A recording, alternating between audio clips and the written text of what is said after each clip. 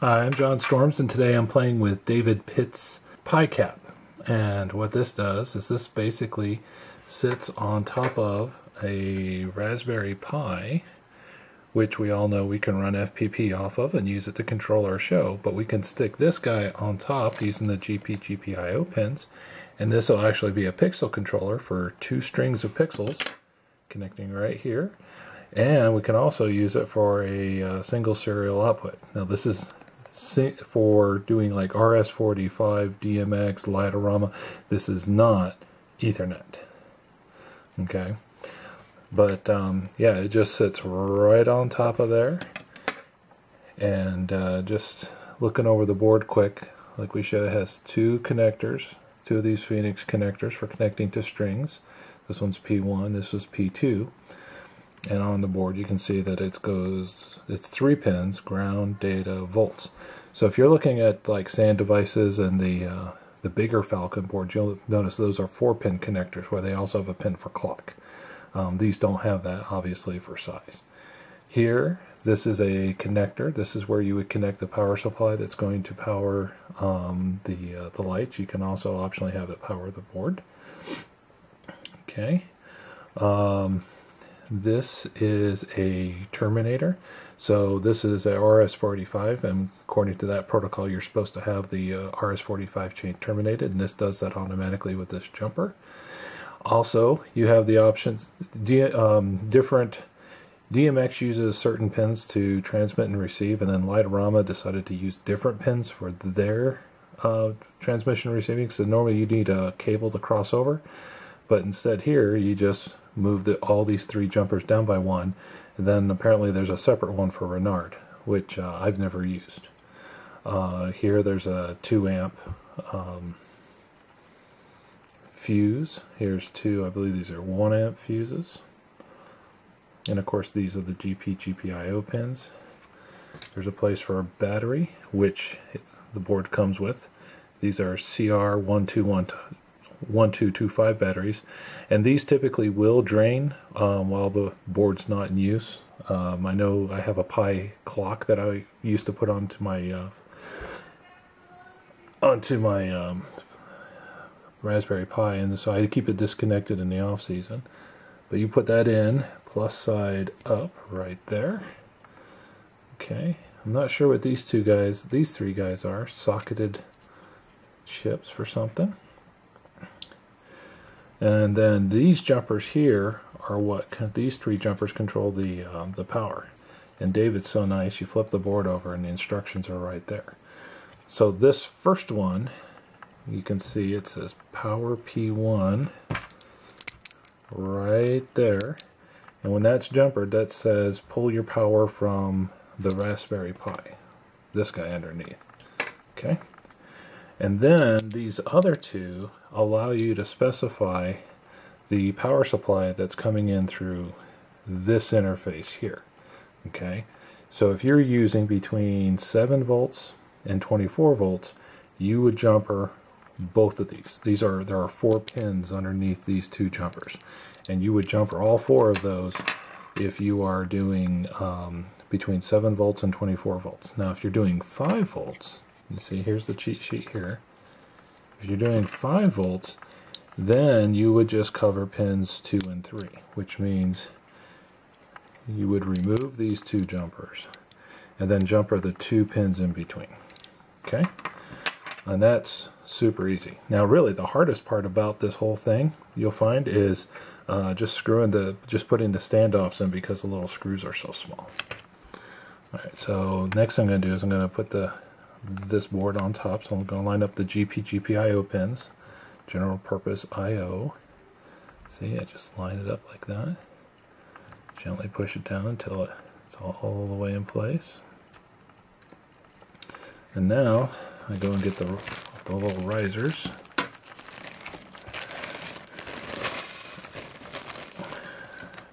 Really appreciate people sending all the stuff for the assembly. That's nice. David Pitts includes everything you need here.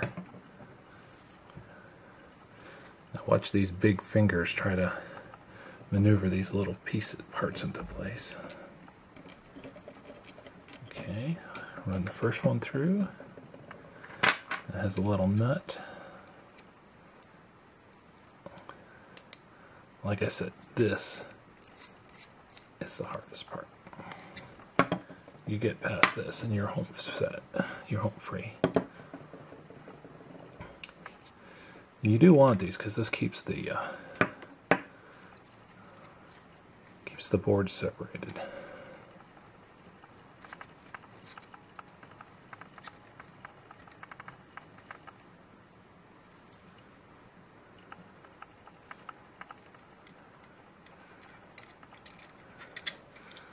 There's that one.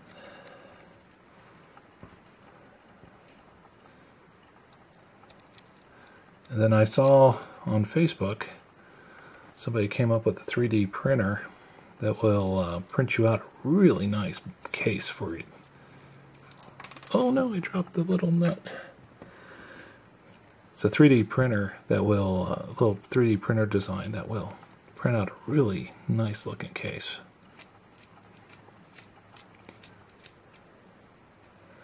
Because I had my Raspberry Pi in this nifty little case that was just just fit it just right.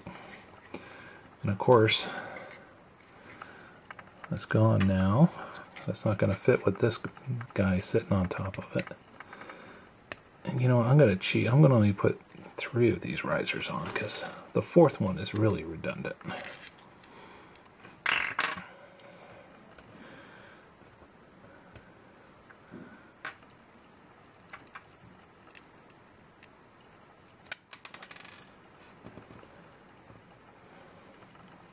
Come on. Oh wow. See, I told you this is this is the hardest part of the whole thing right here.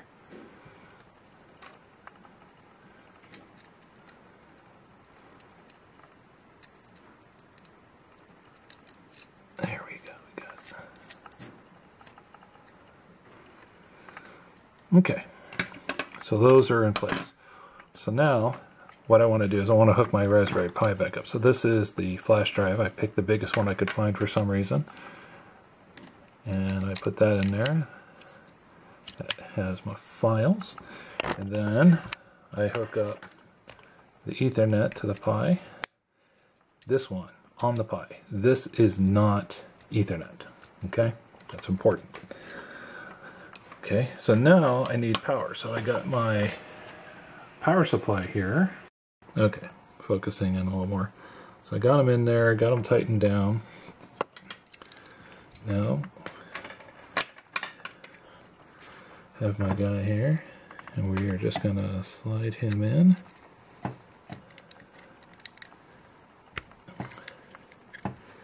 You want to make sure the little tongue there clicks over top. Alright, so we're good. So the next thing I want to do is I want to get some pixels hooked up, okay, to these two ports. Man, that's a lot of wire showing. I do not like that. Alright, so I got the power, I took a second to get the connection the way I wanted it, but uh, I got the power connected now, and I'm using a 12 volt power supply. Why? Because I have 12 volt pixels. So what I'm going to do is I need to stick this connector on the end. Where'd it go? I just had the end. Here it is. It's not really the end, it's the start. Okay, you always got to have the start of the string. And you know you're looking at the start if you can see this information. So you're looking through the epoxy and I can see this first line is 12 volt, this says data, this says ground. So what I've done is I've stripped the leads and um, you know putting the connector the way it's going to fit then you can see okay this is ground middle is data outside is volt so what I did is I pulled it off and on the connector I marked what was voltage what was ground of course data's in the middle so now I come into here I confirm 12 volt goes with this side Give all these guys a little bit of a twist. Okay, so 12 volts goes in there, data in the middle, and ground on the end. Oh no, my battery's dying on my phone, my camera. Quick. Okay, I tighten up all three connectors on the Phoenix connector.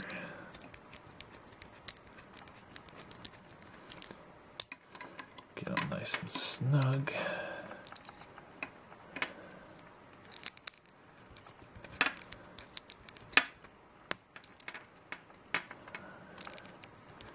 See that? Just like that. So voltage goes to 12, data is in the middle, ground is on the end. And then I just stick it in. Just like that. And so this is P2, so this is actually on the second one. And this one has 25 pixels. The other string already have the connector on right there. This one I'm going to stick into P1. Okay, oh no, this one came loose. See that? My ground one came out, so I need to redo that one. This happens all the time. I think most of the time when I have problems with my pixels not working, it's because one of these connections became loose.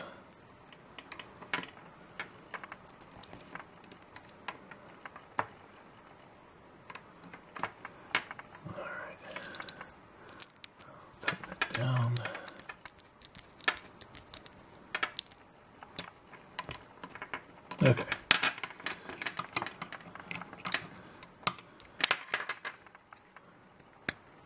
There we go. Okay, so I have 25 pixels on P2 and I have 48 pixels on P1. These are just my some of the strings that I I pull one or two off at a time or I cut in half for for another thing. Um, okay, so the other thing I need to do is I'm going to hook up this. This is my uh, wireless connection. See, I got a little wire, you know, 802.11 wireless adapter there, but I just put it on a powered hub. I do the powered hub that way I know the um, wireless is getting enough enough power to do its thing. And here I'm just plugging that into the USB USB connection. All right, and then the last thing is the power connector for the Pi itself is on this side.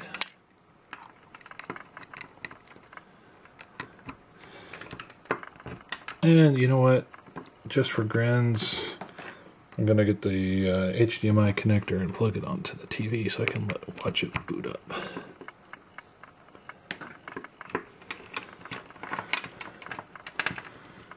Okay. So here we are, we're all set up.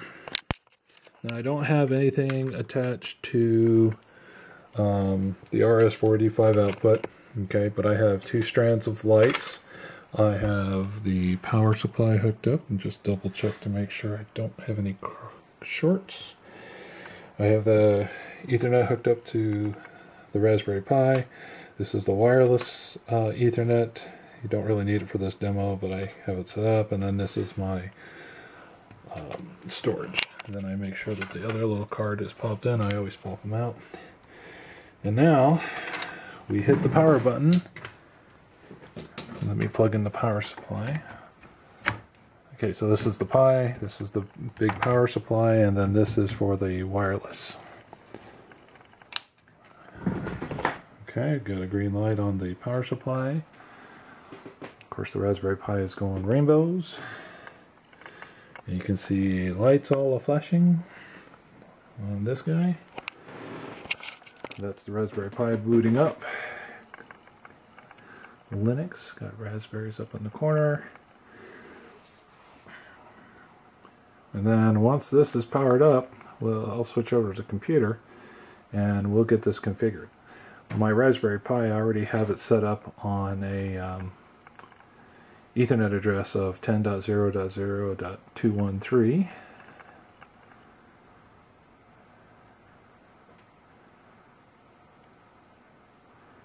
It's Booting, booting, booting. Web server's coming up. FPP is booting up. And I am running 1.8, which is the most up-to-date version. Okay, and I just synced up the time. So I am ready to go. Yep, there's my login. Okay, so switch over to the computer and get this configured. Alright, so now we're on the computer. Uh, and one thing I don't have set up is I am not connected into the hub like I'm supposed to. So let me go set up my Ethernet because I have my Raspberry Pi and my controllers on a 10.0.0.0 network. So I'm going to go over here to change adapter settings, go to Ethernet, properties, scroll down to IP4, and I'm going to use a static address. I'm going to use 10.0.0.200. NetMask doesn't, it's 25, it's an 8-bit NetMask, and I don't need to set a gateway, don't need any DNS. And that's that. Okay, so now I got my Ethernet all set up. I am going to go open up a web browser and go to my Pi, my Raspberry Pi, which is at 10.0.0.213. This is a static IP that I gave uh, some time ago. And what I want to do is I want to set up those two strings. So I go to Input Output Setup tab and select Channel Outputs. And then under Channel Outputs, I select Other. And then I select Add.